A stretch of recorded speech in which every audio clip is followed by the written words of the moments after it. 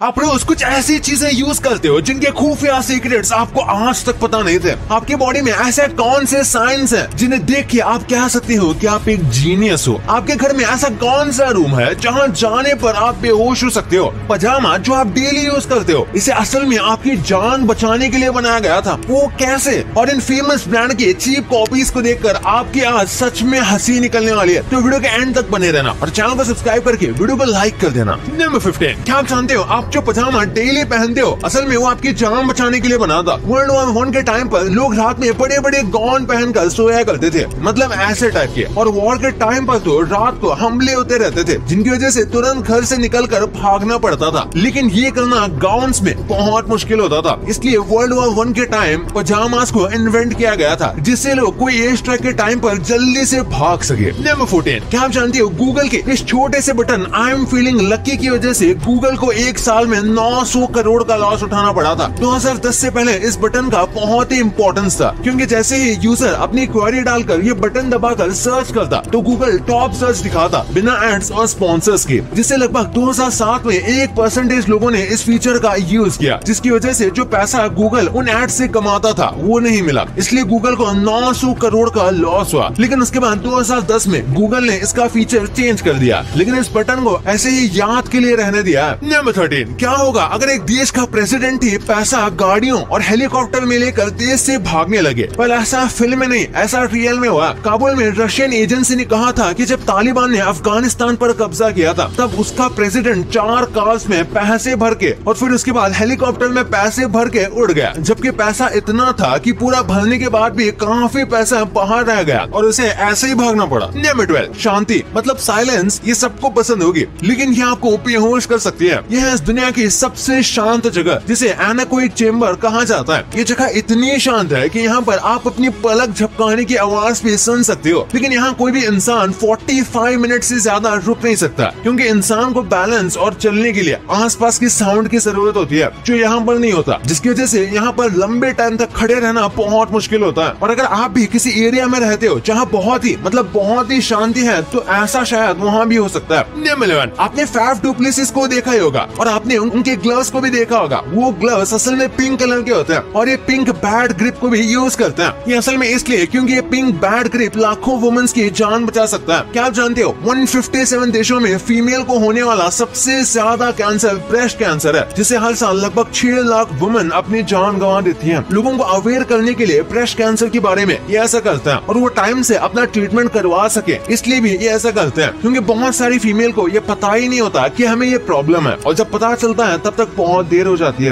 Ten protest में आपने देखा होगा पुलिस लोगों पर रबर बुलेट और आँसू गैस की बारिश करती है। लेकिन 2009 में बेल्जियम में लोगों ने अपने काउ से पुलिस पर दूध की बारिश करवा दी थी। ये डायरेक्ट अपने गाय से ऐसे दूध उड़ा रहे थे। आप बोलोगे कि ये प्रोटेस्ट है किस चीज़ का? ये प्रोटेस्ट दूध के प्राइसेस को लेकर था। क्योंकि 2008 में 100 लीटर दूध का price three thousand one seventy one रूपए हो गया था जिसे 2009 में two thousand five hundred and thirty six रूपए कर दिया गया। यानी कि रेट बढ़ने की जगह और कम कर दिए गए जिसे फार्मर्स बहुत गुस्सा हो गए और ये सफ़ेद प्रोटेस्ट शुरू कर दिया। नंबर नाइन क्या आप जानते हो स्टार फ़िश स्क्वायर फ़िश भी हो सकती है? मतलब ऐसे से ऐसे। लेकिन बहुत से लोगों को लगता है कि ये किसी जेनेटिक डिसऑर्डर की वजह से होता है, जबकि रियल में एक पूरी स्पीसीज है स्टार फ़िश की, जो स्क्वायर शेप में होती है। वैसे क्या आपको ये बात पहले भी पता थी? कमेंट में मुझे ज़रूर बताना, क्योंकि मैं सबकी कमेंट्स देख रहा हूँ। नंबर एट भाई, धरती पर जैसे ही बोझ पड़ता है, धरती अपने आप को साफ़ कर लेती है, क्योंकि ऐसा एक बार नहीं, पाँच बार हो चुका है। अर्थ की हिस्ट्री में पाँच बार बहुत ऊँचे लेवल पर प्लांट्स और एनिमल्स खत्म हो चुके हैं। और सिर्फ़ छह करोड़ साल पहले लगभग पचास परसेंट प्लांट्स और एनिमल्स खत्म हो गए थे। लेकिन सबसे शॉकिंग बात तो यह है कि अब हम सिक्स स्टेज में आ चुके हैं। तो आपको क्या लगता है की हम इससे ओवरकम कर पाएँगे? सेवन आपने किसी स्पोर्ट्स मैच में या किसी पॉलिटिशियन की रैली के दौरान ऐसा बड़ा सा हाथ देखा होगा? मतलब ऐसा साइन देखा होगा? ये ज़्यादातर अमेरिका में ही देखने को मिलता है। लेकिन ये हाथ का मतलब क्या है? और इसे आखिर किसने बनाया था? असल में इस हैंड को फोम फिंगर के नाम से भी जाना जाता है, जिसे अपनी फेवरेट टीम को सपोर्ट करने के लिए यूज़ किया जाता है। जैसे इंडिया में बोट्स और टी शर्ट पहन के किया जाता है और इस चीज़ को पहली बार 1971 में इसके फाउंडर स्टीव चेमलर ने बनाया था, जिन्हें एक हाई स्कूल मैच के दौरान उनकी फेवरेट टीम को सपोर्ट